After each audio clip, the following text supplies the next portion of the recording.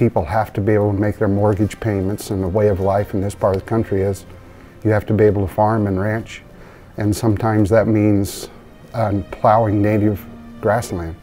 Part of what we're doing is trying to maintain the natural setting that we have on the ranch. We have uh, Sand Creek, it dissects the ranch for seven miles, runs right through the middle of it.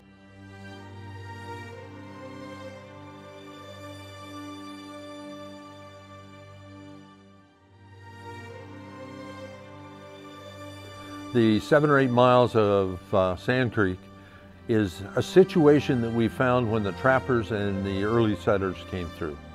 All these small ephemeral streams that we see today in the plains parts of Colorado, Kansas, Montana, Nebraska, they all had water storage and they were all percolated and populated with beavers. Most native grasslands disappeared so they could be farmed. But this ranch, because Sand Creek goes through the middle of it, it was protected from that. And now we have the opportunity to continue. That's the challenge we have, is how do we not mess it up?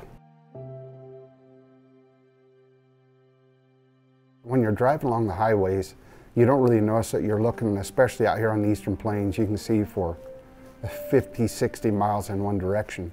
And you think that's just barren land that, you know, really doesn't have that much diversity or contribution to the environment.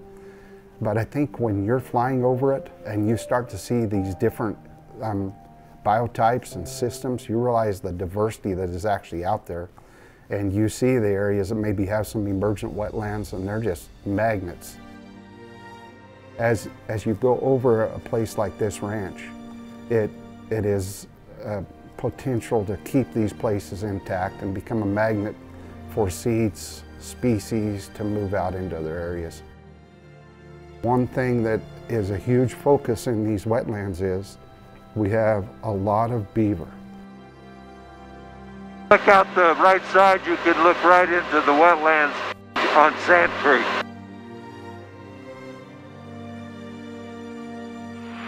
So these wetlands provide just a huge number of both intrinsic value and ecosystem service values to humans.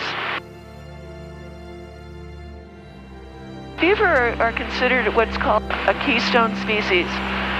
And uh, what a keystone species, what that means is that given their numbers, they have a disproportionately high and positive impact that reverberates throughout ecosystems. Not only do they mitigate a warming climate, they provide amelioration of many of the impacts of a warming climate in water storage, as you know, particularly in our surrounding, if you look at the surrounding landscape, which is dominated by agriculture, uh, those soils are actually releasing carbon, whereas the soils in that wetland are storing carbon. So they act as a really important balance against the impacts that we by, by our agricultural practices. So maintaining that wetland, maintaining those beaver dams, ameliorates both climate change and its impact.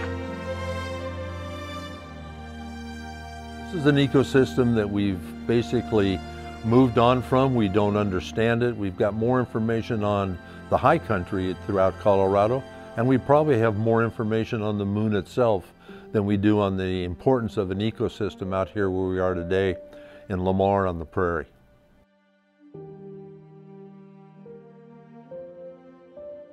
Native grasslands have so long been overlooked.